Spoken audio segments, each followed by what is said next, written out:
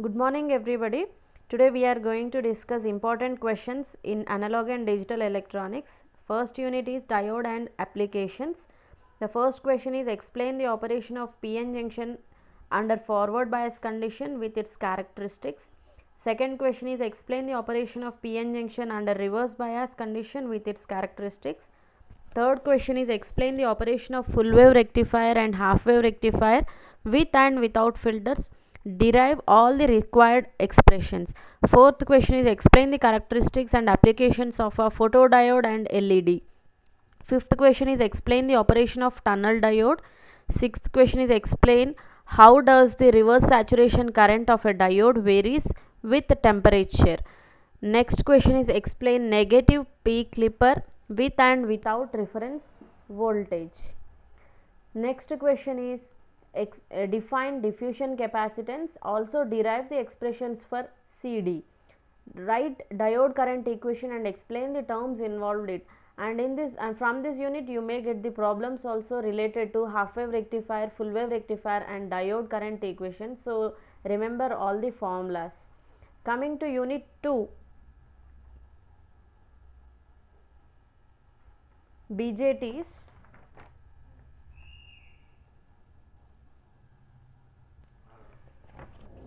explain the operation of NPN transistor with neat diagrams. Compare transistor configuration CE, CBI and CC explain thermal runaway and stability. Explain input and output configurations of common base configuration next common emitter configuration and then common collector configuration. Seventh question is explain the operation of RC coupled amplifier. Next write a short note on gain bandwidth gain bandwidth product and amplification factor. Next write a short note on q point that is the operating point. And the next question is explain biasing and the biasing compensation methods. 11th question is explain emitter follower circuit. 12th question is write a short note on two cascaded CE and multi-stage CE amplifiers and uh, from this unit also you may get one question and the B bit as a problem related to amplification factor and transistor configurations. And uh, you have to remember all the required formulas. Coming to unit 3 FETs and digital circuits. Compare JFET and BJT second question is explain the operation of n channel JFET with neat diagrams and also write its VI characteristics Third question is explain the operation of N-channel enhancement MOSFET with neat diagrams and its characteristics. Explain the operation of N-channel depletion mode MOSFET with neat diagrams and its characteristics. Not only N-channel, you have to remember or you have to study the P-channel JFET and P-channel enhancement and depletion MOSFETs also. Next question is compare JFET and MOSFET. Next compare all the logic families. Seventh question is explain NAND and NOR, op- NOR gates with DTL. Explain the operation of NAND gate with TTL that is transistor transistor logic. Next write a short note on common source and common drain amplifiers. You have to uh, explain the circuits if needed and you have to write the uh, write the formulas related to it.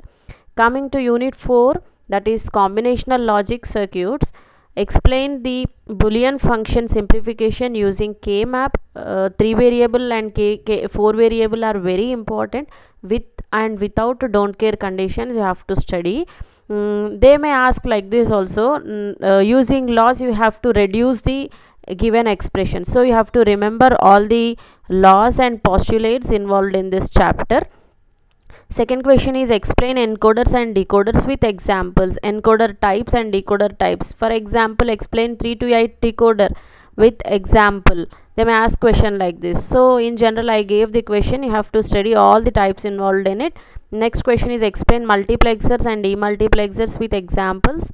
Fourth question is explain the operation of 4-bit binary adder subtractor circuit by considering your own 4 bit numbers. So uh, you have to consider a and b as the two variables. In a you have to consider a 4 bit number and in b you have to consider one more 4 bit number.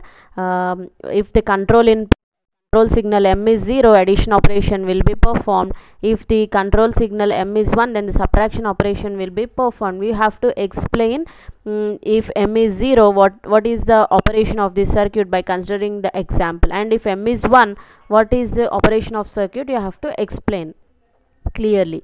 Then explain half adder and full adder. Sixth question is state and explain consensus theorem and transposition theorem seventh question is write a short note on de morgan's laws. Eighth question is explain logic gates and universal gates. Ninth question is explain nand and nor realization. It means that using nand gate you have to realize all the other gates. You have to draw the circuits involved uh, required. And using NOR gate you have to realize all other gates. So uh, you have to remember the laws, postulates, De Morgan's laws mainly for in order to implement this. Next 10th question is write a short note on comparator. 11th question is explain decimal adder.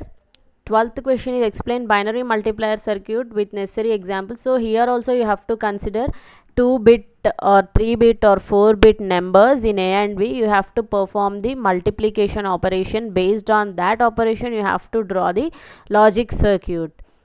Next, th 13th question is simplify the following uh, expression using K-map. It is given that f of a comma b comma c comma d is Next 13th question is simplify the following function using K-map. The question is as follows f of a comma b comma c comma d is equal to sigma 1 3 4 5 6 11 13 14 and 15 so it is clear from the question that there are four different variables that is a b c and d. So we have to consider a four variable k map or 16 cell k map. So here sigma is given. That mean min terms are given so in the place of 1 3 4 5 6 11 13 14 and 15 we need to place ones. And in all the remaining places we need to place zeros. And we have to map all the ones and write the uh, final reduced expression. Next if pi is given you, so it means that in the place of uh, it means that they gave us the max term. So in the place of max terms we need to place zeros and we need to pair up all the zeros and write the uh, reduced expression. 14th question is convert the decimal number 128.25 into binary, octal and hexadecimal number system. So in our class we have discussed all the number based conversions. So I gave this question as a sample. You have to practice all the types of number based conversions. Next question is simplify the following boolean expression into one literal. So it is given that w complement x into z complement plus yz plus x into w plus y complement z. So, it is given um, that we need to reduce it. We need to simplify it on into one literal. So in at the end we need to have only one variable. So here uh, it has um, in the question they gave us that we need to simplify it. It means that not using k-map it means that it using laws and using uh, postulates. We have to simplify this. So you have to remember all the laws required. And at the end the answer will be only in one variable so practice this type of questions also prove that and or network is equivalent to NAND NAND network. So we have to draw the logic circuits of AND OR and NAND NAND uh, and you have to write the truth tables at the end or the truth tables of AND OR and NAND NAND will be equal. So we can say that the AND OR network is equivalent to NAND NAND network. This type of questions are also important. Give the simplest logic circuit for the following logic equation where D represent don't care conditions.